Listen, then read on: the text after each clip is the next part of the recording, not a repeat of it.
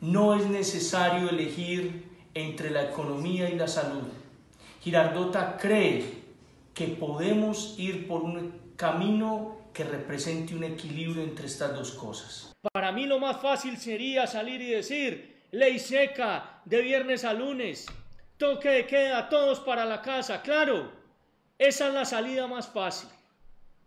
Y entonces nos vamos a quedar con eso hasta que termine esta pandemia, quién sabe cuándo.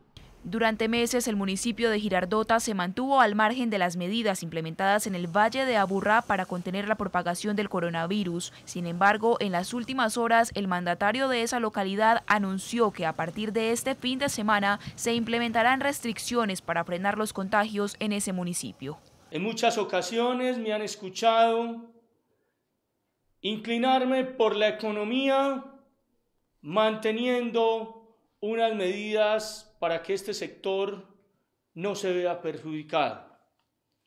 En esta ocasión me debo mover hacia el otro costado, hacia el de la salud. Debemos adoptar unas medidas que ya hemos tenido porque no se nos puede desbordar el tema de la pandemia en Girardota. Las medidas que empezarán a regir desde este sábado 7 de noviembre y hasta el domingo 22 son Toque de queda de 10 de la noche a 4 y media de la mañana, pico y cédula de dos dígitos para compras en sitios públicos.